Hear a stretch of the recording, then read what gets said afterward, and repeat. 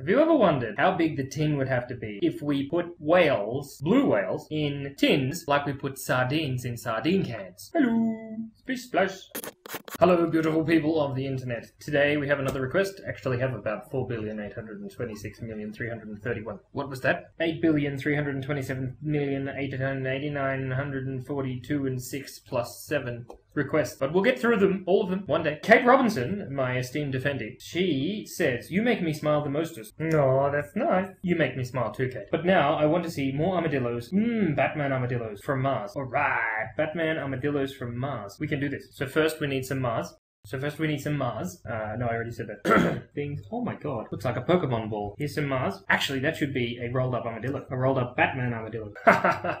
from Mars. Right. Robot Batman. No, no robots. Batman armadillos from Mars. Okay, we'll start with construction lines. He needs a head. Got a head, an armor plating on his head, and a little eye, and some nose, and some ears, and a sneaky grin.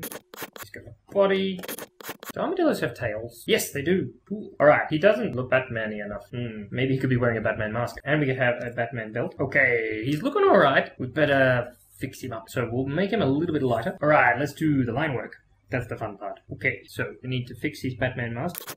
Yeah. Some texture. Armadillos have great ears. More spots. Batman!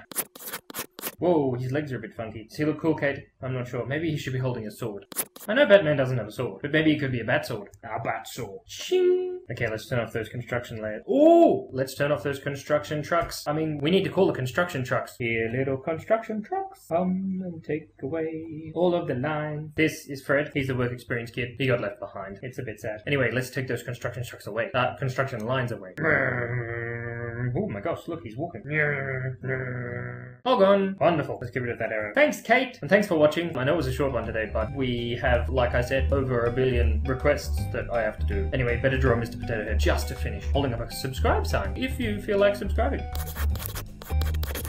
Oh, I forgot his moustache. He looks terrified. Probably because I want chips. Yay! Thanks, beautiful people! And thanks, Kate. Not that you're not a beautiful person. It's, it, it's just I used it as an encompassing term, you know, to talk about all of the people on the internet. Some of them probably aren't beautiful, like this guy. Hi. Although he's probably beautiful in his own way. Okay, stop.